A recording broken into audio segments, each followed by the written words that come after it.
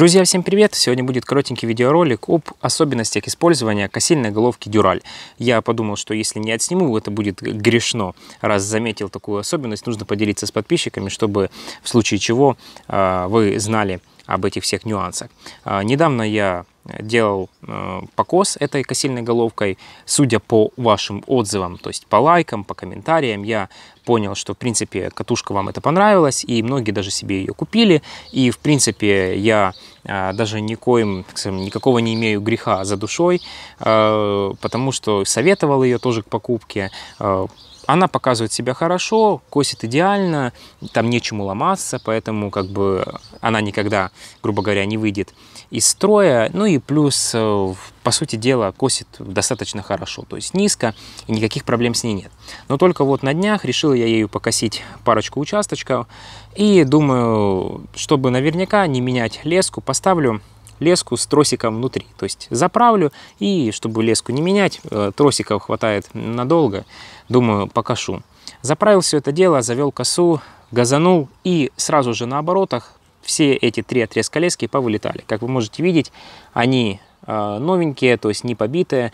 Э, в работе они даже себя не успели показать. Ну, тут три у меня, еще один где-то я тут посеял. Но то не суть. Дело в том, что когда я тестировал эту катушку, я использовал стандартные отрезки лески, которые шли в комплекте. Там была леска диаметром 3 мм, сечение квадрат. Вот. И, в принципе, она спокойненько держалась, ничего не вылетало, и как бы никаких проблем с ней не было. Вот. А это впервые я засунул э, круглую леску, и она сразу же повылетала. То есть даже 3 мм в диаметре она плохо держится. Э, на днях, вот, по-моему, вчера написал мне комментарий один из подписчиков, спросил, а можно ли использовать э, к этой косильной головке леску меньше 3 мм. Он, по-моему, написал 2,7 мм.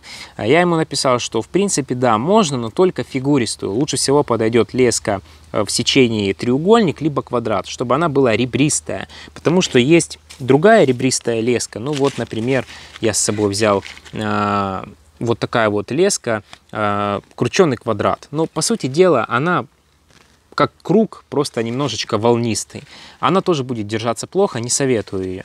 Вот. Берите какую-то леску фигуристую. Я на косильную головку дюраль свою поставил вот такую вот леску. Это квадрат э, армированный, диаметром 3 мм. Вот. Э, в принципе, эта леска у меня уже давно, ну, она уже почти закончилась, 15-метровый моток. То есть вот эти все мотки еще 15-метровые, гляньте, сколько еще тут их, ну, сколько метров, там метров по 10, по 12. А это уже закончилось, потому что леска это мне понравилась, тоже советую. То есть вот как дюраль советую, так и вот леску э, диаметром 3 мм, квадрат армированный, запомните. Это тоже классная леска, она стоит чуть-чуть дороже обычных лесок, э, там буквально на процентов 20, но, грубо говоря, выработка у нее почти в два раза больше. Вот. В отличие от вот этой с тросиком, которая стоит в три раза дороже, но косит, ну, может быть, в два раза лучше. Но тоже есть у нее свои достоинства, если применять к определенным косильным головкам. В общем, э, разобрались с первым вопросом, с первым моментом. Это то, что нужно использовать фигуристую леску. Это первое. И второй момент я хочу сейчас показать наглядно на косе. Э, давайте сейчас перейдем к косе. Значит, друзья, смотрите, следующий момент по косильной головке дюраль – это способ фиксации лески. До этого я всегда фиксировал ее, получается, заводил в соседнее отверстие и фиксировал так, чтобы она не выглядывала из-за катушки, из-за паза. А, но потом я начал применять другой способ фиксации, то есть чуть-чуть дольше, ну, то есть чуть-чуть длиннее а, концы вот эти, которые заводятся сюда. Начал, то есть чуть-чуть их э, дальше высовывать и фиксировать вот сюда за катушку. То есть она не цепляется таким образом за чашку редуктора, то есть вы видите, идет спокойное вращение, ничего у нас здесь не цепляется, ничего у нас здесь не трется. Вот. Но фиксируется она так гораздо-гораздо надежнее. То есть нужно высунуть буквально на 2-3 на сантиметра длиннее, чем обычно. Ну, тогда даже, ну, грубо говоря, на полтора сантиметра длиннее. То есть перерасход лески будет незначительный. Вы этого не заметите, вы этого не почувствуете.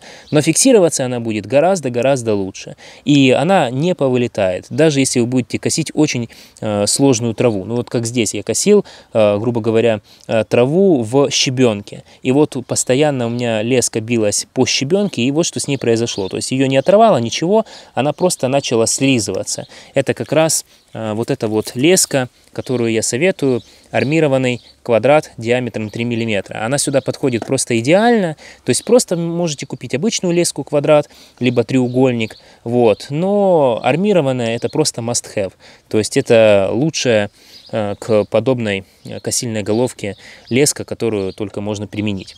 Вот, в принципе, все. Два момента, которые я хотел вам показать, о которых хотел э, поделиться. Надеюсь, что вам это будет полезно, будете применять на практике. То есть первый момент это э, форма и диаметр лески. Берите э, сечение 3 мм и фигуристую, то есть либо квадрат, либо треугольник лучше всего.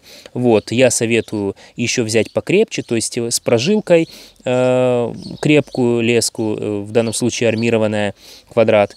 Вот. И второй момент – это способ фиксации, то есть заводим ее аж сюда за катушку, то есть за корпус катушки. Она никуда не девается, ничего здесь не цепляется, опять же, я вам это все продемонстрировал, и перерасход будет там небольшой, плюс там сантиметр лишний, грубо говоря, это не страшно. Но леска держится гораздо надежнее, чем если вы просто ее выведете вот сюда, и она останется в корпусе катушки там болтыхаться, она может просто, ну, грубо говоря, высунуться и вылететь вылететь просто из э, фиксирующихся мест. Ну вот, в принципе, как-то так. Все, кому было интересно, кому было полезно, э, ставьте лайк, подпишитесь на канал, кто еще не подписан, э, кто еще не видел ролики с обзором и козьбой этой самой косильной головки. Опять напомню, ссылочки будут э, в описании, можете посмотреть.